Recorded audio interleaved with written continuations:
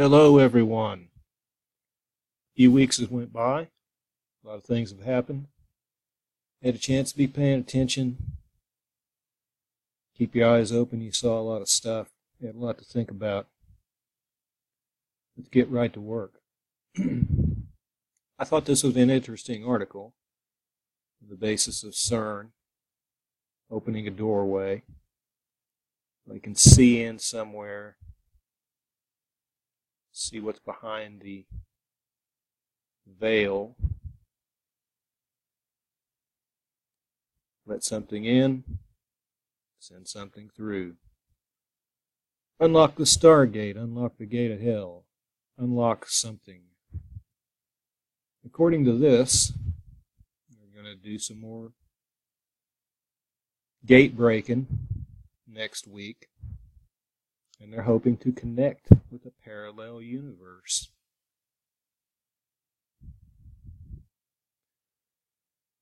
It's going to be fired up to the highest level ever. They're going to try to break down the gate, or they can't break it completely, it appears they want to make a tiny hole. Kind of like digging under the gate.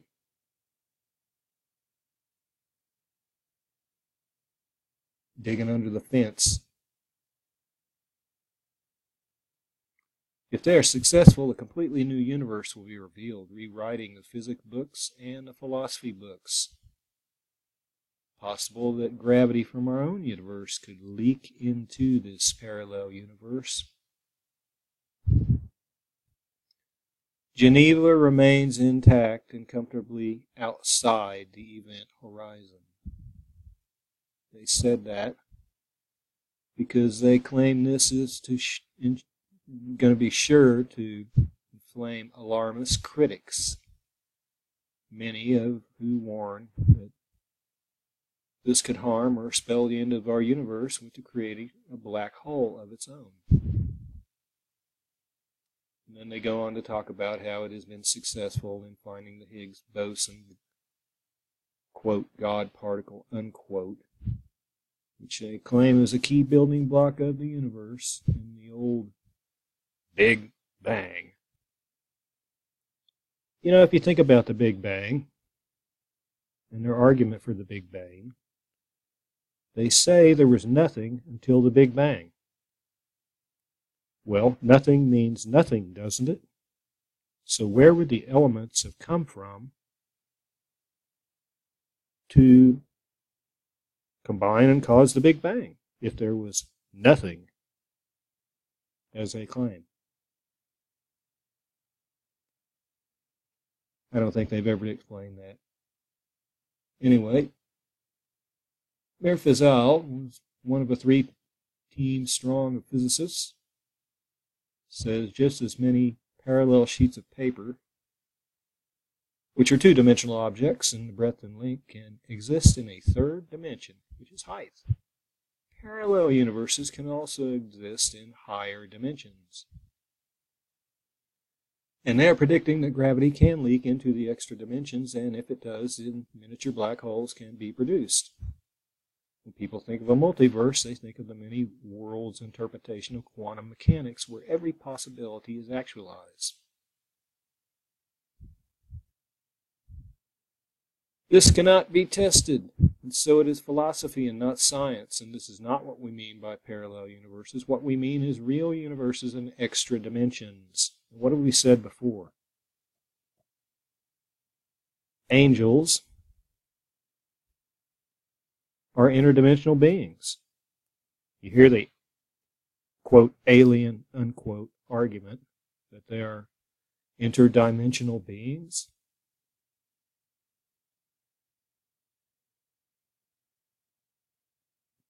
If you live in Kansas and someone comes to visit you from Oklahoma, they have crossed your border, have they not? And they have come into where you live.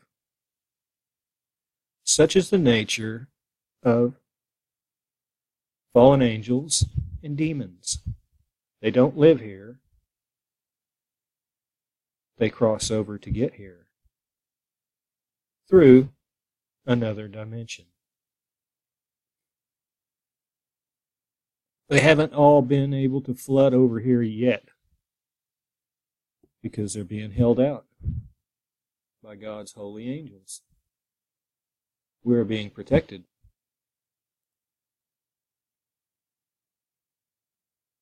But there comes a time when the protection is removed.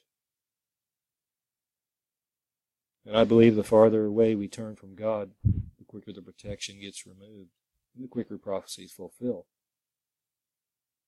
Back to the article. Gravity can flow out of our universe into the extra dimensions, such that a model can be tested by the detection of mini black holes. We've calculated the energy at which we expect to detect these mini black holes in gravity's rainbow, which is a new theory. If we do detect these holes at this energy, then they're going to know that gravity's rainbow and extra dimensions are correct. That's what they believe. Now, this energy is measured in tera electron volts, so think about it. A TeV is 1 trillion electron volts. Now, I have heard that they want to get this thing up to 17. so we would be talking 17 trillion electron volts. Let that sink in. There is no machine on this planet that we know of, and I don't believe that there is, that has that much energy to it.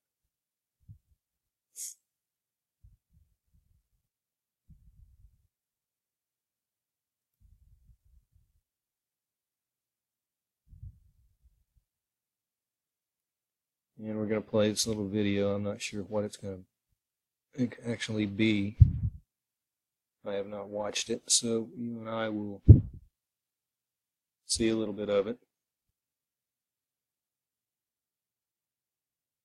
It's not worth it, I'll stop it. Insignificant though this bottle of compressed hydrogen gas looks, it marks the beginning of the world's largest and most powerful particle accelerator chain culminating in CERN's spectacular Large Hadron Collider. Hydrogen atoms from this gas cylinder are fed at a precisely controlled rate into the source chamber of a linear accelerator, CERN's LINAC 2, where their electrons are stripped off to leave hydrogen nuclei. These are protons and have a positive charge, enabling them to be accelerated by an electric field. Their journey to eventually take part in ultra-high energy collisions similar to those following the Big Bang can now begin. This initial acceleration has caused LINAC 2 to be likened to the lumbering first stage of a huge rocket. By the time this packet of protons leaves LINAC 2, it'll be travelling at one-third the speed of light. It's about to enter the booster, stage two of the rocket, if you will. In order to maximize the intensity of the beam, the packet is divided up into four, one for each of the booster's rings. Straight acceleration is now impractical, and the booster is circular, 157 meters in circumference.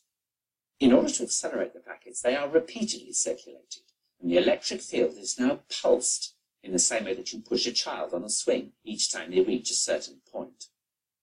Magnets exert a force on the passing protons at right angles to their direction of motion, and so powerful electromagnets are used to bend the beam of protons round the circle. The booster accelerates the protons up to 91.6% of the speed of light and squeezes them closer together. Recombining the packet from the four rings, it's then flung on into the proton synchrotron, by analogy stage three of our rocket. Let's just follow two such proton packets. The proton synchrotron is 628 meters in circumference, and they circulate for 1.2 seconds, reaching over 99.9% of the velocity of light. It's here that the point of transition is reached, a point where the energy added to the protons by the pulsating electric field cannot translate into increased velocity as they're already approaching the limiting speed of light. Instead, the added energy manifests itself as increasing mass of the protons. In short, the protons can't go faster, so they get heavier. The microscopic kinetic energy of each proton is measured in units called electron volts, and now the energy of each proton has risen to 25 giga-electron volts, or GeV. The protons are now 25 times heavier than they are at rest. The packets of protons are now channeled into stage 4, the superproton synchrotron, a huge ring 7 kilometers in circumference designed specifically to accept protons at this energy and increase it to 450 GeV. Soon, the packets of protons will be energized sufficiently to be launched into the orbit of the gigantic Large Hadron Collider, or LHC, which lies between the Jura Mountains and the Alps, and straddles both France and Switzerland. Lying deep underground, it has a circumference of 27 kilometers.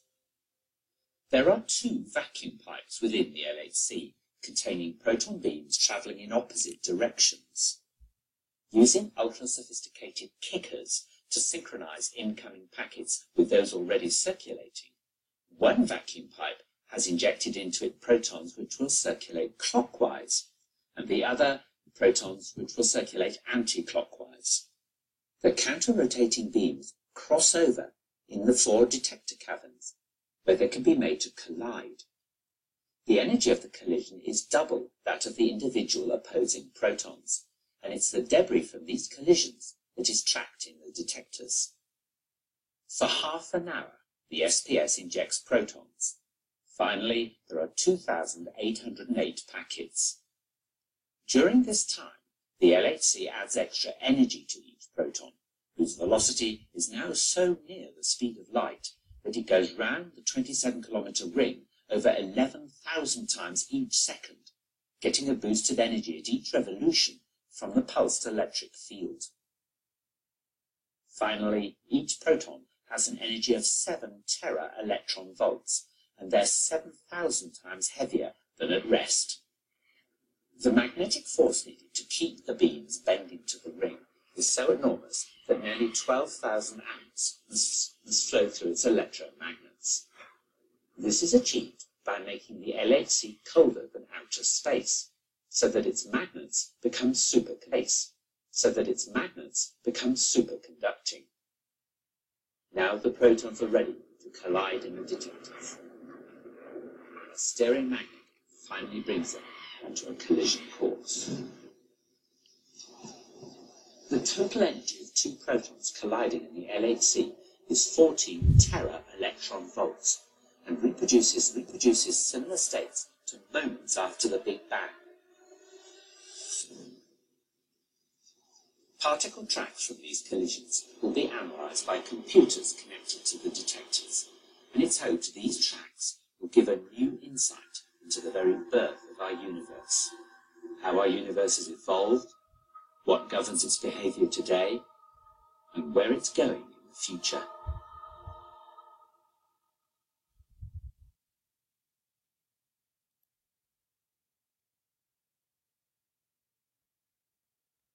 Well, there it is. That's another one of their little videos. Now, another thing that's been mentioned is possibly could they use this for time travel? Well, I don't actually think they can travel in time. I've given this idea a lot of thought.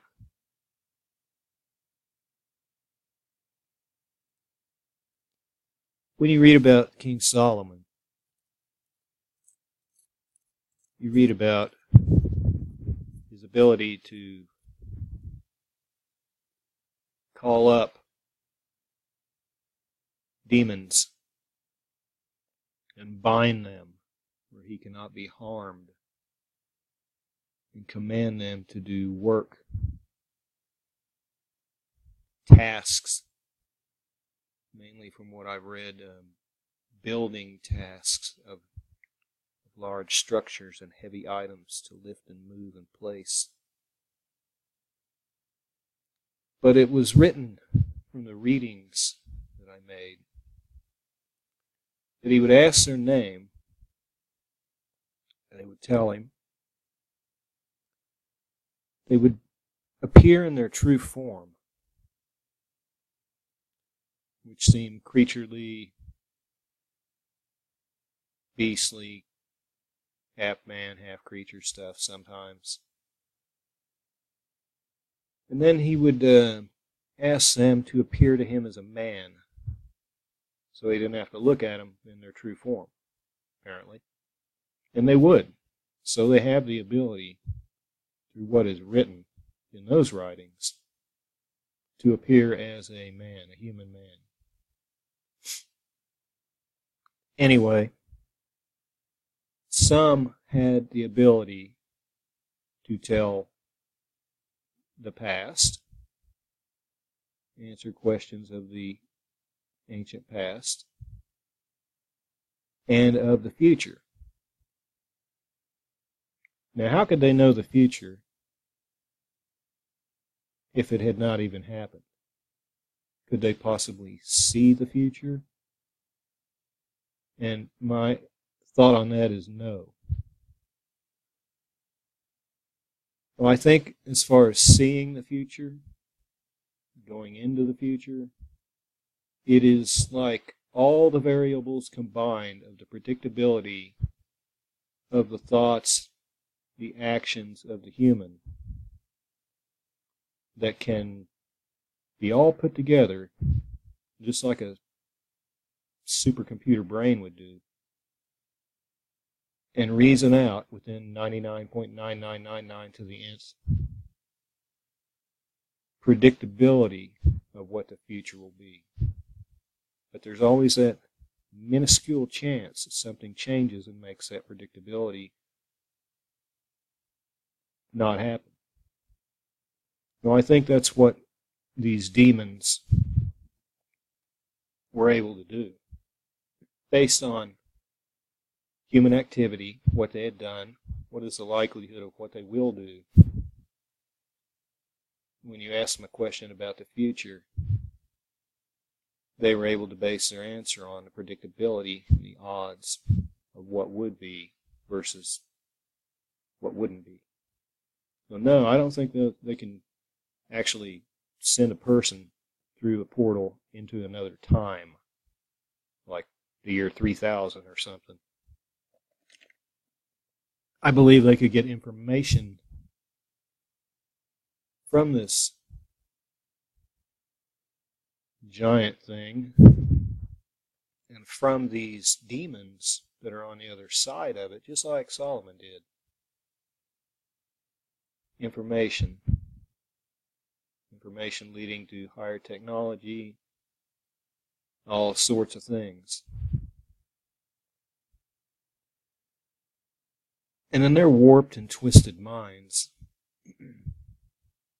they may have built this thing and think this will hold them back. If, if this may be their little way of thinking they can bind them like Solomon and use them for whatever they want without them getting loose. Bring them over, get what you need, keep them locked up, But I got a bad feeling that ain't really their goal. They worship Lucifer, the devil. These are his minions in league with him. They're all scum. They were good at one time. They gave their goodness up. Now they're no good anymore. They have only evil coming from them. Anything that they would give mankind that mankind would think would be good, it would serve their interest to ultimately destroy, enslave, and take the soul of every one of mankind into the depth of hell. So I think their main goal is to bring them over and not keep them locked up.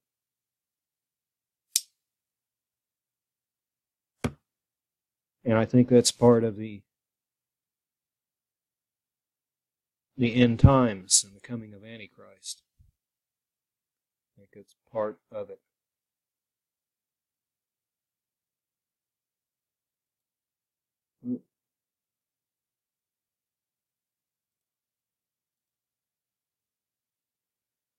We also witnessed what I believe is maybe not, but possibly so, the final piece of the New World Order placement. You saw the meeting, or heard of the meeting at the United Nations, in which they set sweeping new goals. It's a 15 year plan it's a 2030 plan. These are called Sustainable Development Goals, and they have been adopted by the 193 UN member states. Francis was also there when he made his speech. It is 17 broad goals and 169 specific targets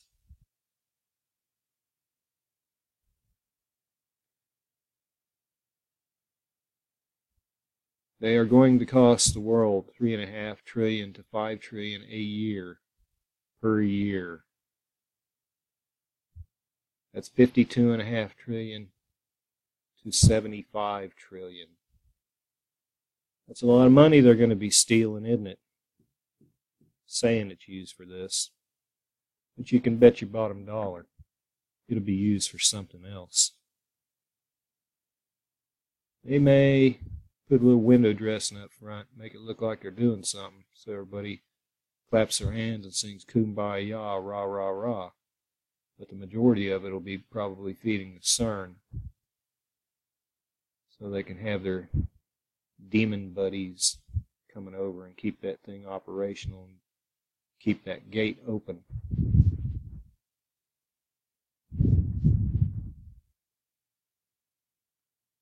At this article here, the 169 targets have not been fully outlined in terms of how this success would be measured.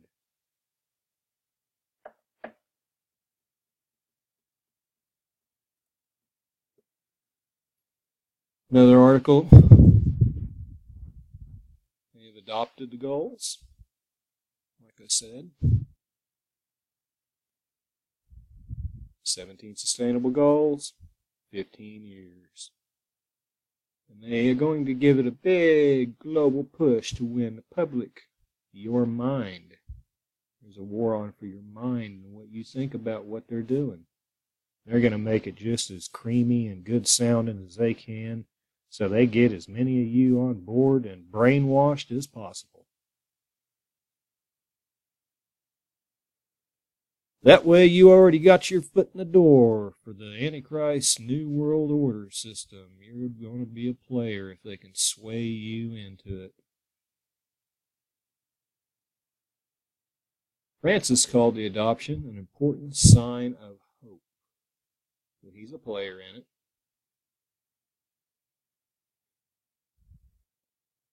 He says the world leaders must follow through with a will which is effective practical con- and constant concrete steps and immediate measures to protect the environment and end social and economic exclusion.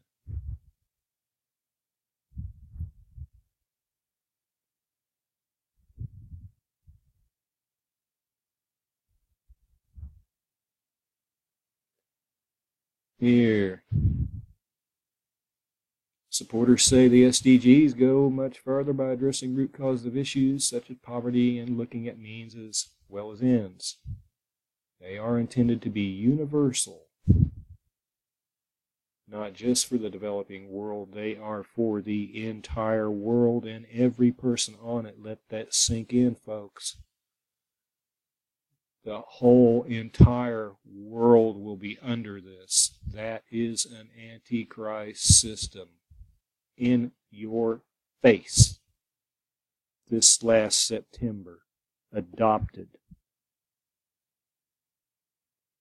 Uh, a to-do list for the people and the planet in a blueprint for success, said Ban Ki-moon.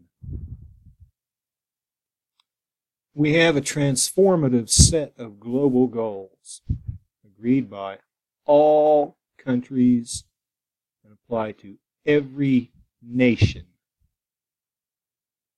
Get that through to you.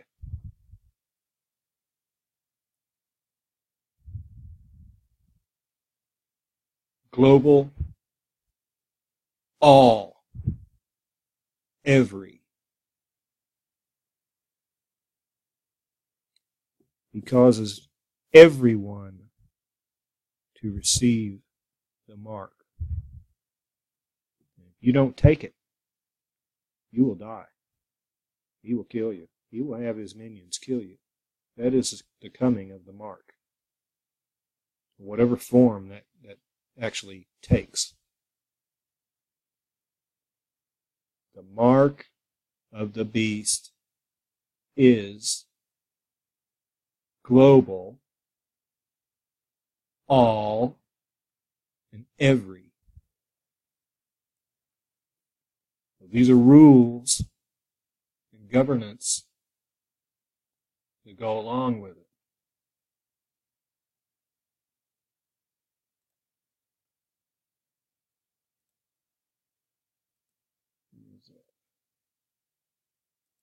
Oh, there it is.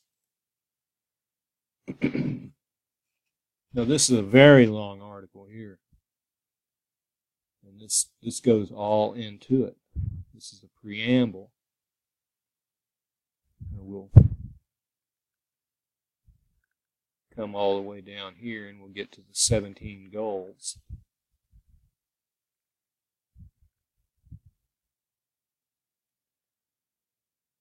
Now, just because something sounds good on the outside, seems like a good idea, I don't mean you should be for it. Because the old adage generally holds true.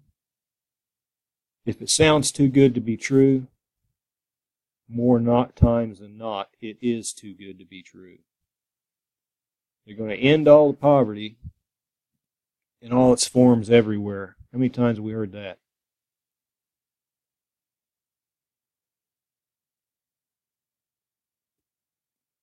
You're going to end hunger. How many times we heard that? They're, how, they're going to ensure healthy lives and promote well-being. How do you ensure a healthy life? If somebody wants to eat 15 bags of Doritos a day, or 10 quarter pounders with cheese a day, you're going to have to not allow that, wouldn't you? That wouldn't be a healthy life, would it? Anyway, they're going to ensure healthy lives. They're going to ensure inclusive and equitable quality education for what they want you to be educated with and how they want you to think. Lifelong learning opportunities for all. Achieve gender equality boy, they're gonna they're really going after you women out there with that. Don't let them brainwash you with this. You're going to empower all the women and girls. Ensure the availability and sustainable management of water and sanitation. Ensure access to affordable, reliable, sustainable, and modern energy for all. But you can't have any of the free energy you get it? You can't have what we know it already is. Promote sustained, inclusive, and sustainable economic growth, full and productive employment, and decent work for all.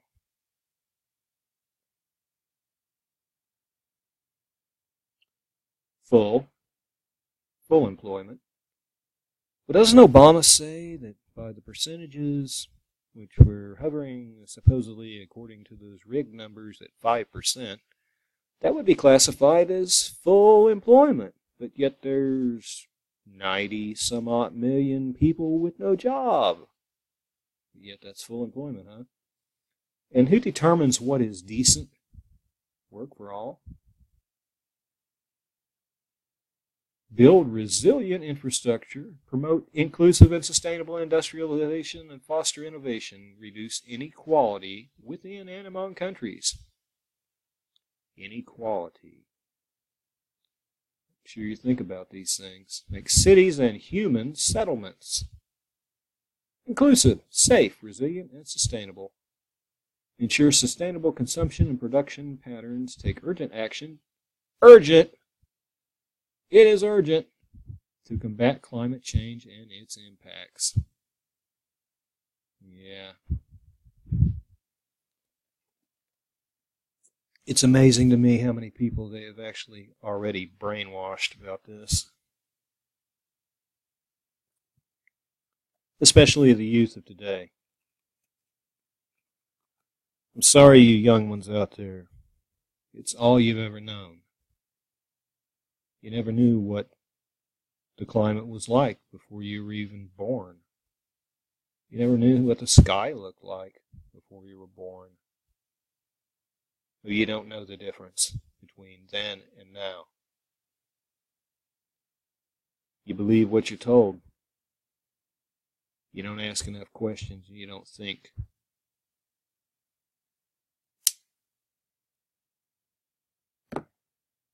They're capturing your minds, taking them where they want them to be, and you're not even realizing it. Conserve and sustainably use the oceans, seas, and marine resources for sustainable development. Protect, restore, and promote sustainable use of terrestrial ecosystems. Sustainably manage forests. Combat desertification, desertification. Halt and reverse land degradation and halt biodiversity loss promote the peaceful and inclusive societies for sustainable development, provoke, provide access to justice for all, and build effective, accountable, and inclusive institutions at all levels, strengthen the means of implementation, and revitalize the global partnership for sustainable development. And then it goes down with each goal it's got subsets and different things it says in there about these goals.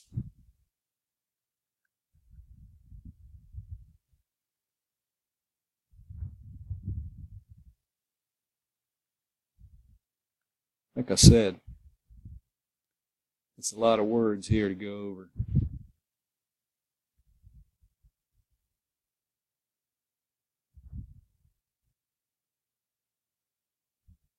trade. Promote a universal world, the whole world, every nation. Rules based, open, non discriminatory, and equitable multilateral trading system under the World Trade Organization, including through the conclusion of negotiations under its Doha Development Agenda.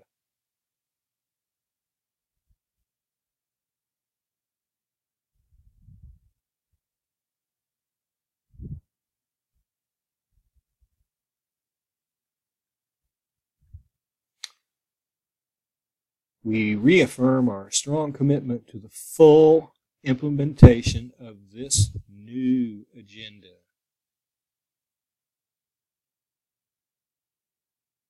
Strong commitment. They're going to get it. They got everything they wanted so far.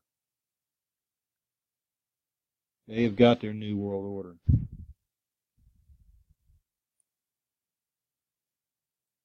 They got it, folks. It's not coming. It's already here. You're in it. Sorry. The beast system is here.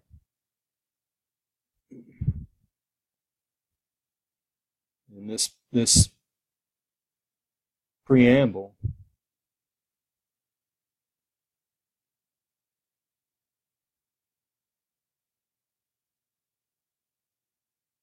goes on to say These golden targets will stimulate action in the next 15 years for humanity and the planet. The people and the world they live in.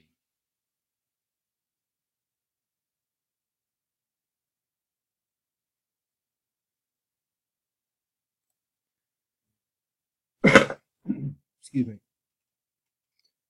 Now, also at the United Nations, when the Pope was there and the UN was doing their thing, adopting these new measures, we also saw um, the Palestinian flag raised for the first time at the UN headquarters in New York.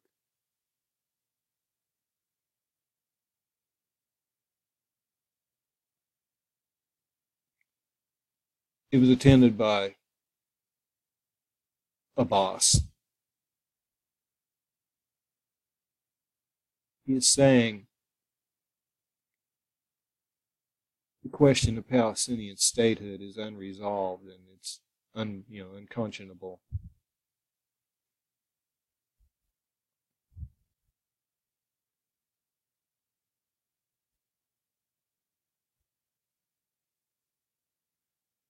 Now, if you look it up, I suggest the easiest thing for you to do would be just to go to Wikipedia, or you can use any source you prefer and trust.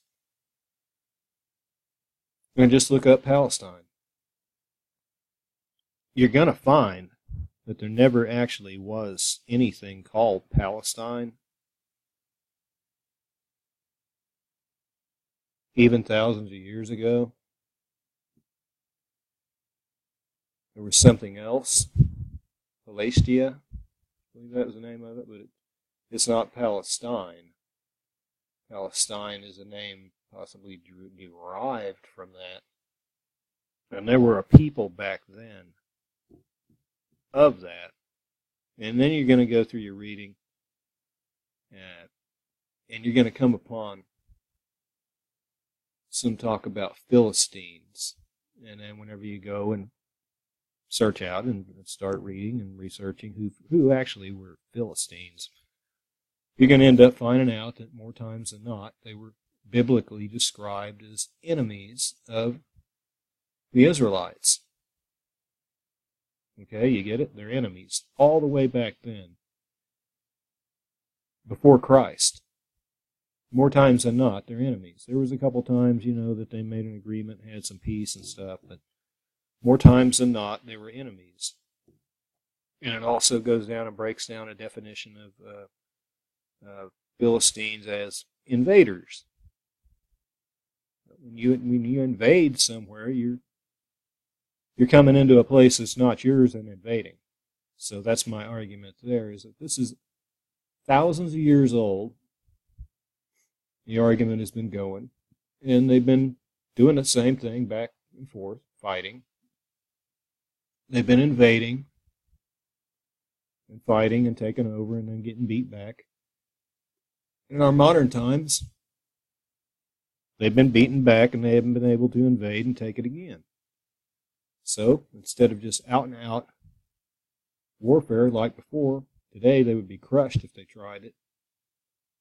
So they have to use other methods public opinion, public pressure.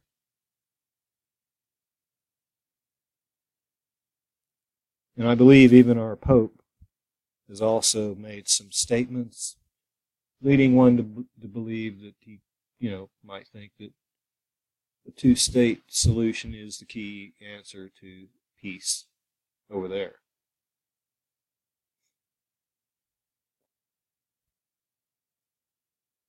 The article goes on to say we expect and call on the authority and its leader to act responsibility to accede to the proposal of Israel and enter into direct negotiations with Israel without preconditions.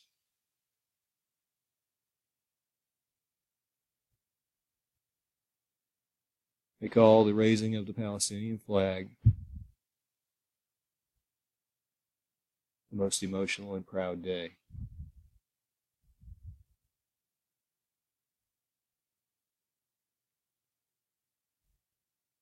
Now,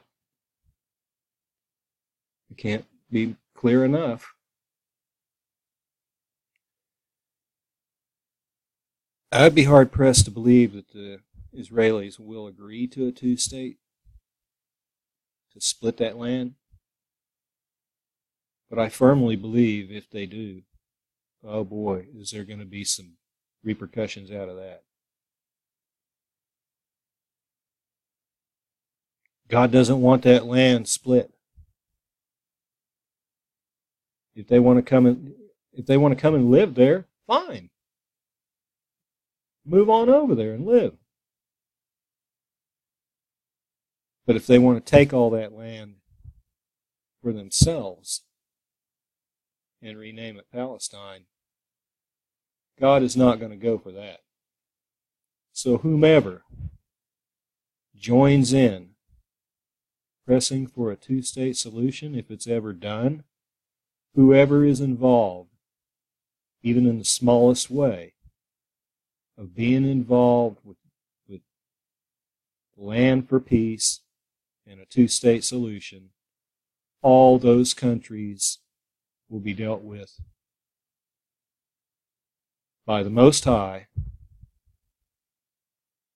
in very harsh ways. He will split their land.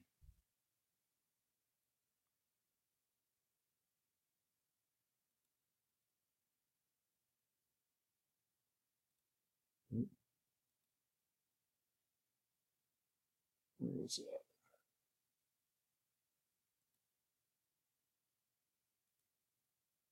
No, I can't find it.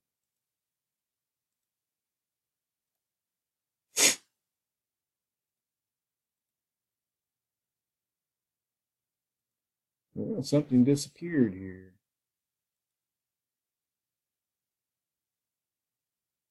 I could bring up another browser and see if I can find that. There it is.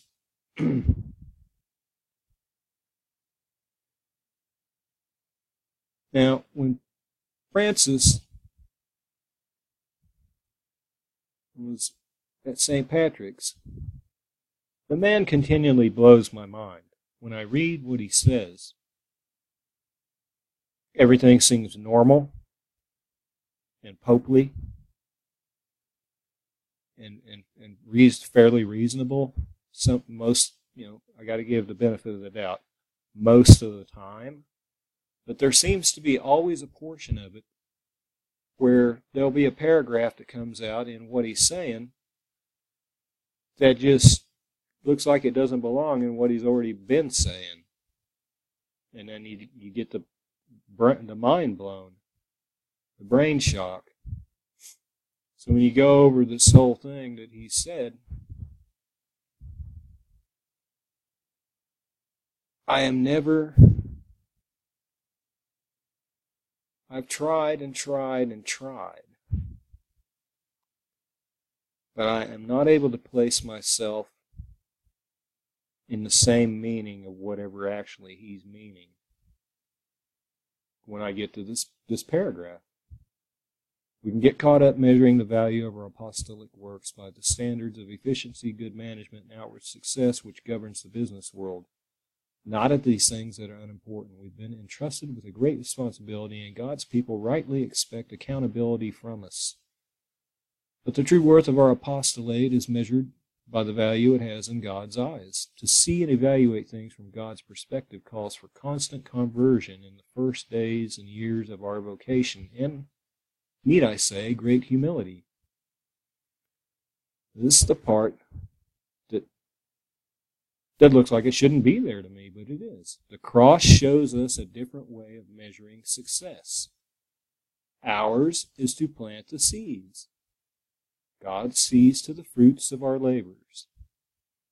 And if at times our efforts and works seem to fail and produce no fruit, we need to remember that we are followers of Jesus. Slight pause. And his life, humanly speaking, ended in failure. The failure of the cross. And when I get to that,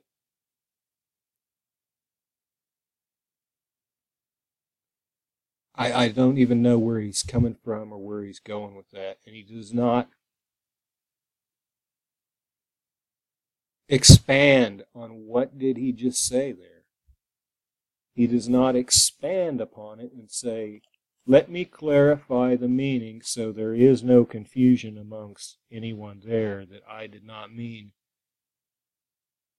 anything bad by that. And even after this article was printed, word for word, what, what he has said here, I've not heard any expansion upon this. And I cannot see how this is a positive statement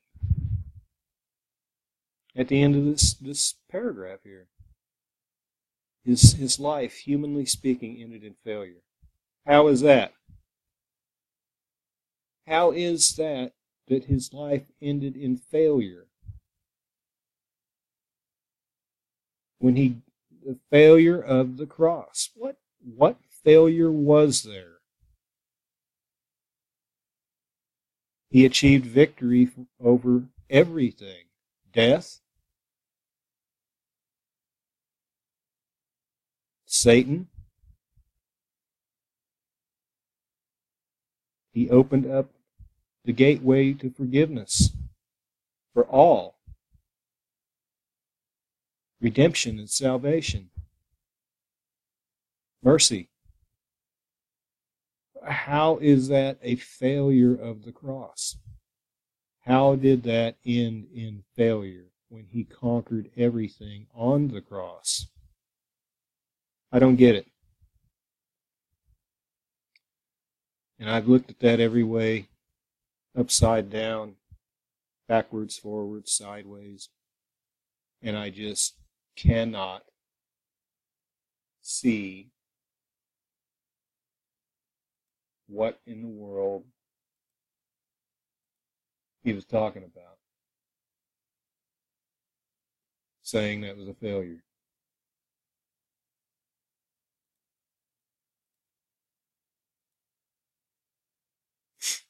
So,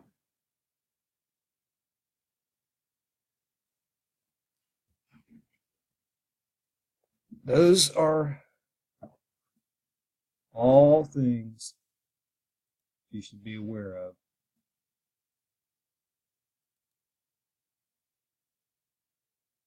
You should have been watching. You should have been keeping your eyes open. You should have been thinking about.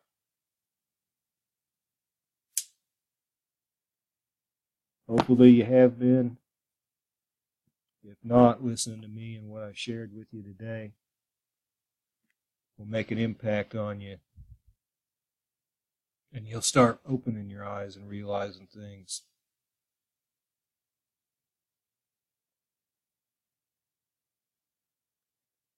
Demons are not your friends. You watch too much movies, TV, play too many games.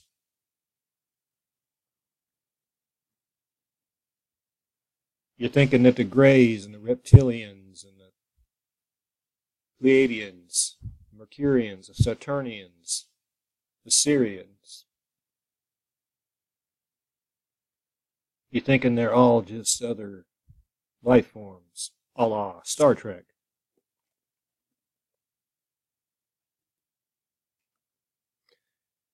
Angels are all different classes, just like your cars are. Is a Cadillac the same kind of car as a Volkswagen? No. It's much bigger, more luxurious. It's a full size. The Volkswagen is very compact and smaller. But it's still a car.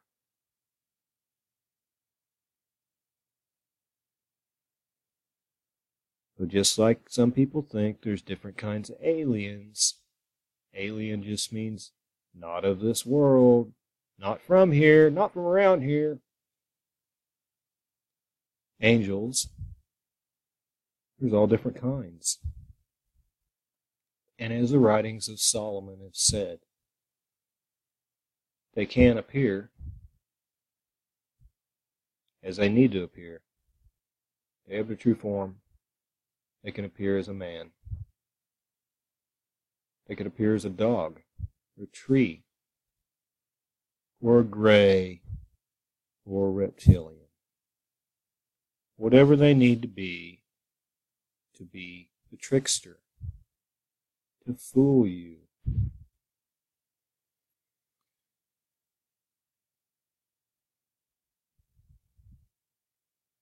They would not have all this money in this machine if there weren't an idea big enough that they wanted to make it become a reality.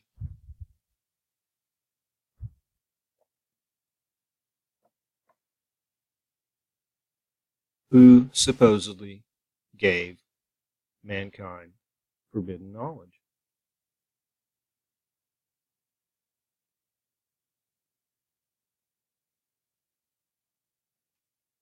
Well, in the old old writings, Prometheus gave fire. He wasn't allowed to do that, but he did, didn't he?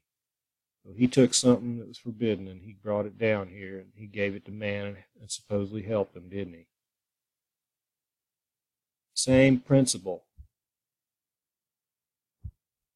These things gave man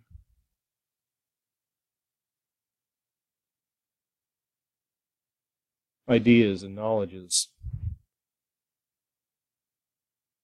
but showed him how to use it wrong. Do you get it? It showed him how to use it wrong. The fallen ones want man to do things their way, not God's way. The things that they showed, God would have taught man the right way. Of course, before we fell, we didn't even need any of it. But even so, we would have rejected all these ways that they showed, possibly, maybe, God would have showed us the correct way to use these things for the good of all man. But instead, these guys showed how to use it in a controlling way. Make these swords, go over there, kill all them guys and take all their stuff, and then you'll have more and you'll have their kingdoms and you'll be powerful. We'll show you how to do this. All you got to do is worship us. Make us your, your lords. Bring us this many people every year and bleed them out and kill them and sacrifice to us, and we'll keep you on top. And they just keep doing that to one kingdom after another kingdom after another kingdom. Each guy that made a deal ends up getting screwed over in the end. His kingdom never lasts. Because there's always a kingdom wanting to take over another kingdom. There's another guy wanting to be a king, more powerful than the other king. And he makes a deal, and he gets the power. Then he overcomes the prior kingdom that had a deal, and the demons screw him over and cause him to lose his kingdom. He gets killed. His soul goes to hell. That's how they do business. They lie. They never tell the truth. Nothing is for mankind's good. And this, well, that's going to be this week, apparently. So, we'll see what happens. That's a lot of power, folks. A lot of it. It's more than they've ever had.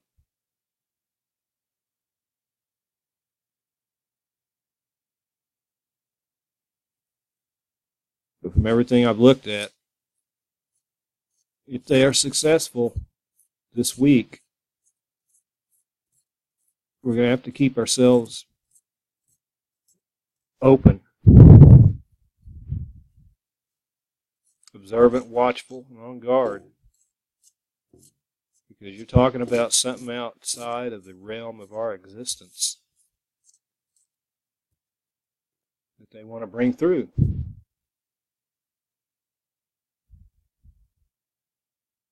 It doesn't matter if you believe it. You can say, Mr. Rog, you are full of crap. You have that luxury to think that, say that. It doesn't matter what we think ultimately.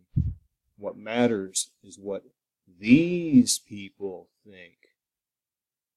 Because what they think, they act upon. They think Lucifer is God. They worship him. And because of that, they act upon that allegiance to do all the things that they do. To do this thing and to do this thing. To set the table for the Antichrist system. The system is in place. And they're going to bring his buddies over. As many as they can.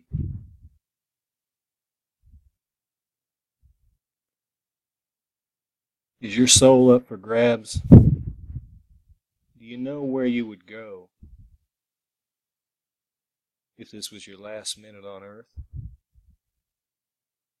Can you honestly say in your heart, I know 100% when I die, I am going to go to the kingdom of heaven?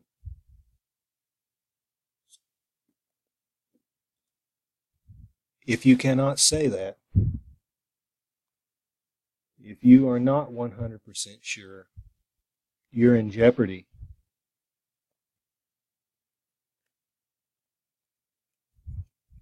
Because you have to be 100% sure.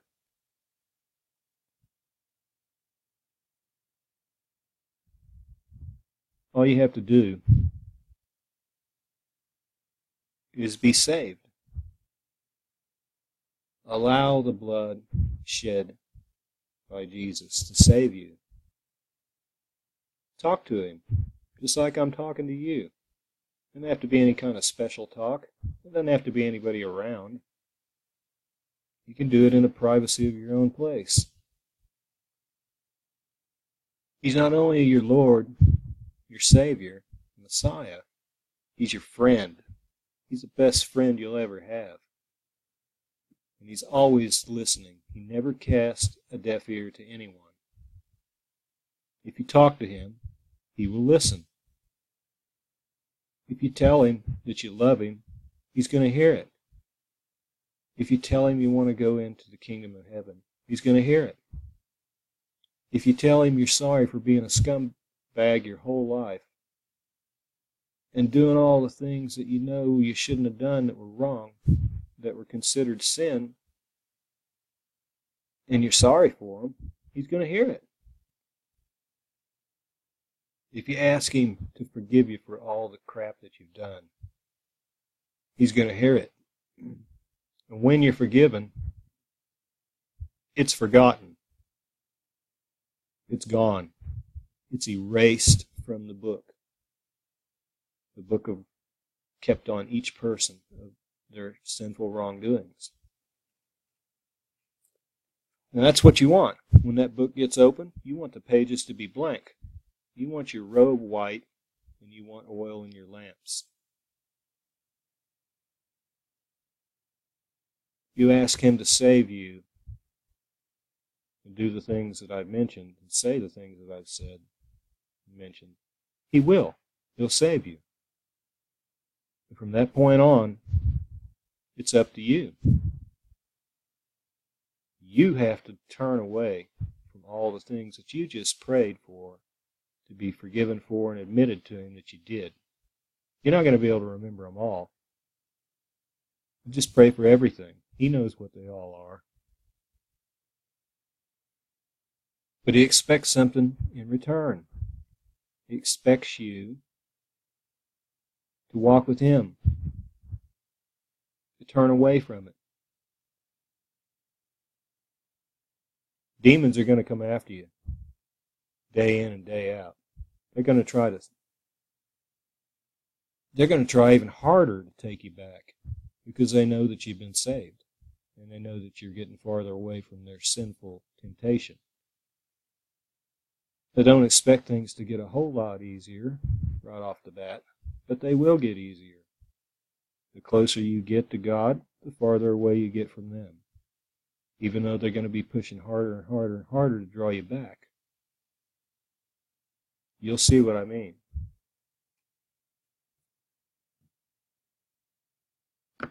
Put on the full armor of God to battle these evil demons. Right now, it's in the spirit.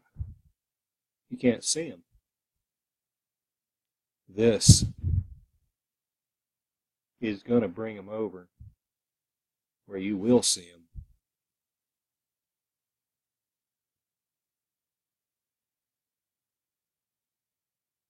We're going into the next year shortly from now.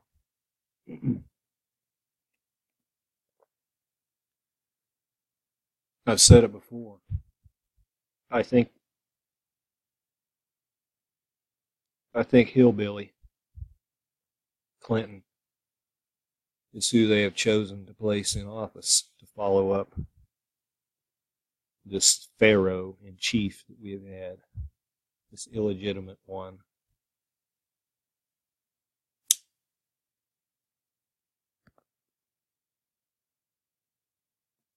And I believe, of course, that she's definitely a liar, a cheater, a scumbag. She's a perfect Luciferian New World Order placement, following in the footsteps of those who preceded her.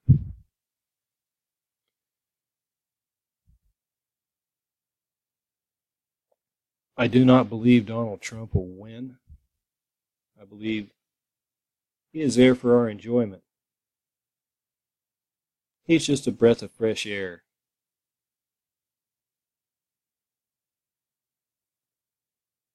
Somehow,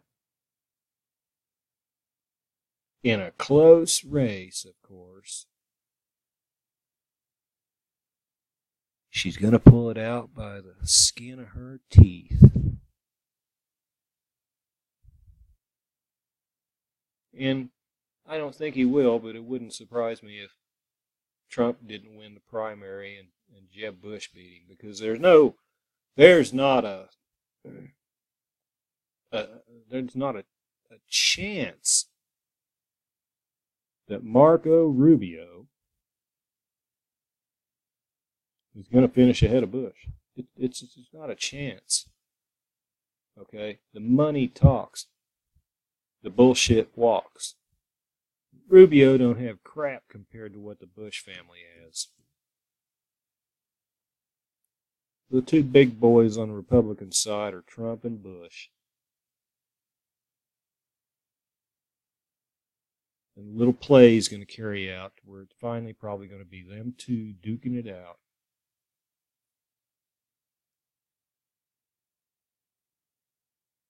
But I still say she gets in, unfortunately.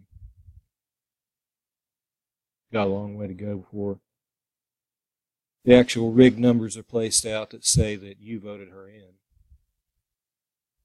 That's the way it goes. They just broadcast, we did it. This is how we did it.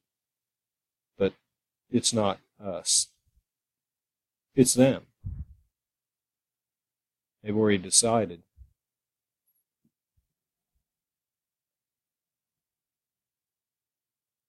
So pray for the world, folks. It definitely, all peoples everywhere needs our prayers.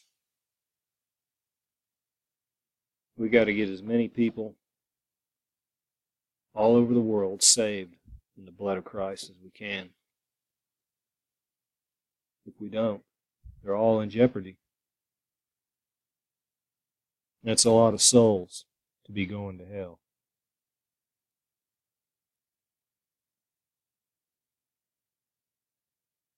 You all do your homework. Don't take my word. Do your own work, and verify. Think about things. And talk to God every day.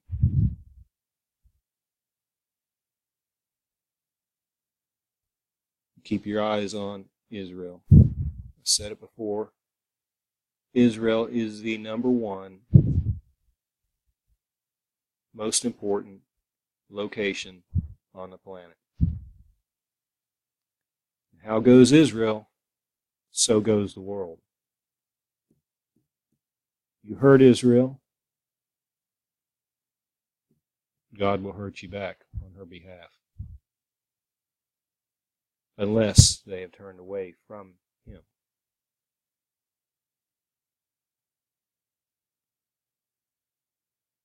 Whosoever curses Israel, going to get cursed. Who blesses Israel, they're going to be blessed. So I'll leave you with those words. May God's love and protection be upon all of you times that we come upon in our future. Until next time.